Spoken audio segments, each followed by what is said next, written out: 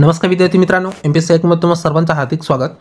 मित्रांनो तीन मार्च दोन हजार एकवीसला एम पी सी आयकोतर्फे सध्या स्थितीमध्ये असणारे एक्झाम आहे त्यासंबंधी वेळापत्रक जाहीर झाले तर कोणत्या तारखेला हे एक्झाम होणार आहे आणि मेन संबंधी काय अपडेट आहे किंवा राज्य सेवा पूर्व परिषद दोन हजार एकवीस संबंधी किंवा कंबाईन दोन हजार एकवीस संबंधी काय अपडेट आहे ते आपण आजच्या व्हिडिओमध्ये पाहणार आहे. सुरुवातीला राज्य सेवा परीक्षा दोन हजार वीसपासून सुरुवात करू कारण हे फॉर्म डिसेंबर दोन हजार एकोणीसमध्ये भरले होते.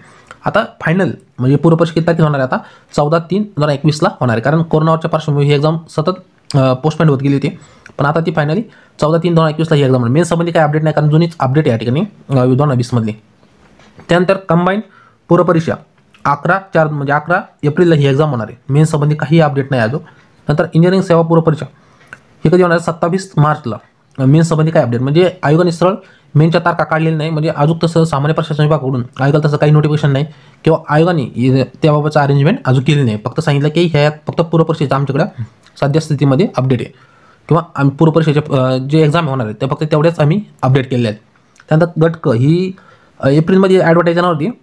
पण जी एक्झाम आहे ती सहा सात दोन हजार वीसला येणार होती. पण कोरोनाच्या पार्श्वभूमी आली नाही आणि त्याबाबत अजून मागणीपत्र सरकारकडून आलेलं नाही. त्याचप्रमाणे तुम्ही पाहिलं असेल खाली जे महाराष्ट्र कृषी सेवा परीक्षा आहे यासंबंधी सुद्धा अपडेट नाही. कारण मागणीपत्र ज्या ठिकाणी नाही ओके ह्या ठिकाणी नाही मागणीपत्र त्यानंतर गटकची या ठिकाणी मागणीपत्र नाही. महाराष्ट्र वन सेवा मागणीपत्र नाही.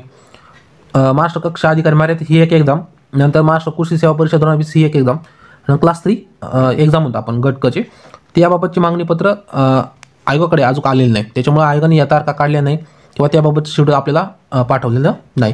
तर यानंतर जे अपडेट शेड्यूल येईल शक्यतो म- मार्च एंड किंवा एप्रिलच्या पहिल्या आठवड्यामध्ये येईल. त्यामध्ये राज्यसेवा पूर्व परिषद दोन हजार एकवीस कंबाईन दोन हजार एकवीस याबाबतचं शेड्यूल आपल्याला पाहायला भेटेल तोपर्यंत सरकारमार्फत सर्व माहिती जाईल. ओके तर मित्रांनो तुम्हाला आजचा व्हिडिओ कसा वाटला? कमेंट करून सांगा. जर व्हिडिओ आवडला तर व्हिडिओ लाईक करा चॅनलला सबस्क्राईब केलं तर नक्की सबस्क्राईब करा. थँक्यू